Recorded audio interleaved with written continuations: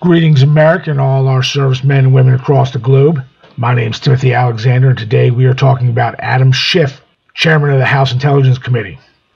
On Thursday, Republicans formally demanded that Chairman Schiff resign his post as chairman of the House Permanent Select Committee on Intelligence. The nine Republicans on the House Intelligence Committee presented a letter which stated since prior to the inauguration of President Trump in January 2017, you have been the center of a well orchestrated media campaign claiming, among other things, the Trump campaign colluded with the Russian government. A little further down, they noted your repeated statements, which implied knowledge of classified facts supporting the collusion allegation, occurred at the same time anonymous leaks of alleged intelligence and law enforcement information were appearing in the media. These leaks, often sourced to current or former administration or intelligence officials, appeared to support the collusion allegations and were purported to be related to an ongoing investigation of President Trump and his associates.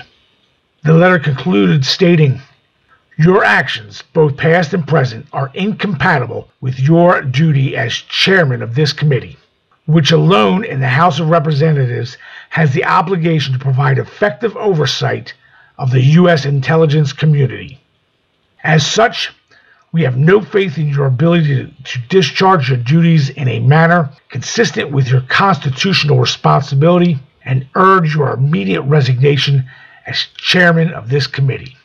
The letter is a reaction to the conclusion of Special Counsel Robert Mueller's Russia probe, which stated there is no evidence Trump campaign members colluded with Russia during the 2016 presidential election. Over the last two years, anytime I saw Adam Schiff interviewed about Trump, Russia, and Mueller, he would smugly and arrogantly make statements insinuating that his access to classified information proved Donald Trump committed a crime.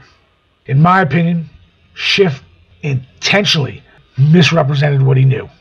Of course, the information he claimed to know is supposedly classified. As such, he can get away with never sharing specific details. But it is obvious that he used his role on the Intelligence Committee to undermine America's faith in the Trump administration. Adam Schiff should resign not only from the Intelligence Committee, but from Congress. Of course, he won't, and neither will any of the others who are pushing the Russian collusion delusion. This is what our political system has come down to. The ends justify the means. Schiff knew nothing, but was betting Mueller would find something. Schiff was betting that when the Mueller report came out, he would be hailed some kind of hero or savior. He bet and he lost, and now he needs to go. What do you think, America?